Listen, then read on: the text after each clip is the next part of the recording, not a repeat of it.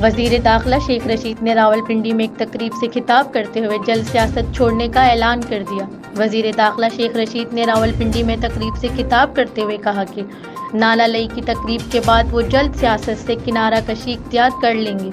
अलबत् मुल्की हालात और सियासत से मुतलिक पेश गोइयों का सिलसिला जारी रखेंगे। उन्होंने कहा, अब इनके ख्याल से किसी और को मौका देना चाहिए। शेख रशीद ने कहा कि पाकिस्तान बड़े हसास और पेचीदा वक्त से गुजर रहा है। इमरान खान ने कोरोना को बेहतरीन तरीके से हैंडल किया। अफ़गानिस्तान के मसले को भी हैंडल कर लेंगे।